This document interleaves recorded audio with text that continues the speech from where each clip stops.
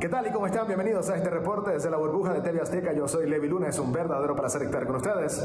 Acá a punto de iniciar los tres combates de campeonato del mundo con Julio César Rey Martínez, que buscará impactar esta noche en su ciudad natal. Rey Martínez no podrá, obviamente, eh, tener a un rival en las mejores condiciones, sin embargo, es un peleador que ha marcado el territorio mexicano y que se destaca por su valentía y su entrega en el cuadrilátero. Lo veremos el día de hoy y luego Román Chocolatito González, preparado para que suene la campana a eso de las 8.04 horas de Nicaragua. 7.59 Román va a caminar al ring.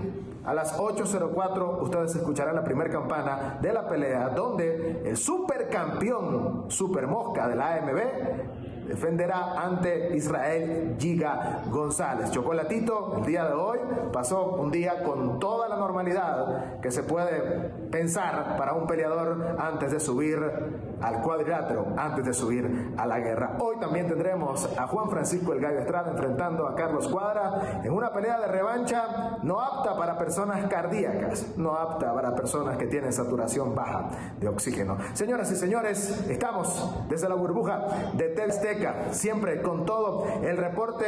Acá hemos pasado la prueba de COVID que tenemos obviamente eh, que pasar antes del inicio de esta cartelera y nos sentimos muy felices de estar cubriendo para TN8 acá en vivo y directo. Regresamos con ustedes allá en cabina.